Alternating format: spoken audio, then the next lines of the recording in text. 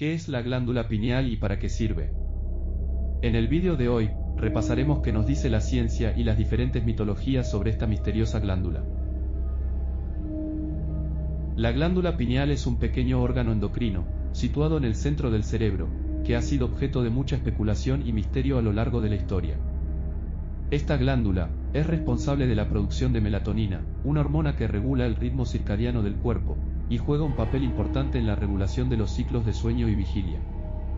Además de producir melatonina, también se ha descubierto que la glándula pineal produce y contiene una serie de otras sustancias, incluyendo serotonina y dimetiltriptamina, también conocida como la DMT.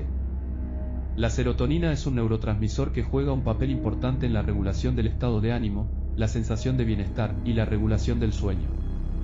La DMT, por otro lado, es una sustancia química que se ha relacionado con la alucinación y la experiencia espiritual.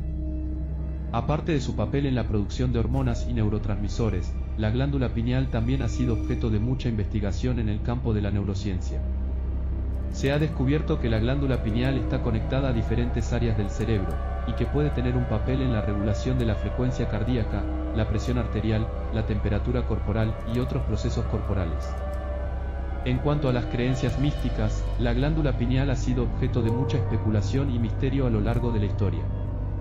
Por ejemplo, en el hinduismo, la glándula pineal se conoce como Ajna Chakra o tercer ojo.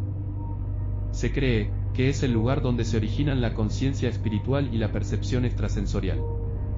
Por otro lado, en el budismo, la glándula pineal es conocida como Brahma Ranjra, y se considera un punto clave en el desarrollo espiritual y la liberación del espíritu.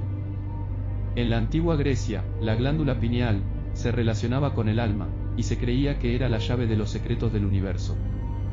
También, en Egipto, se creía que la glándula pineal estaba relacionada con la vida después de la muerte, y se consideraba el lugar sagrado del cuerpo humano.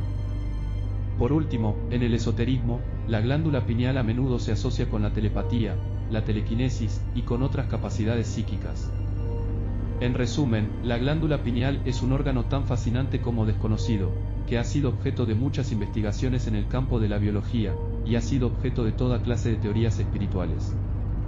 Aunque, todavía queda mucho por descubrir sobre su función y propósito, la investigación continúa, y es probable que en el futuro se descubran más detalles sobre esta interesante glándula.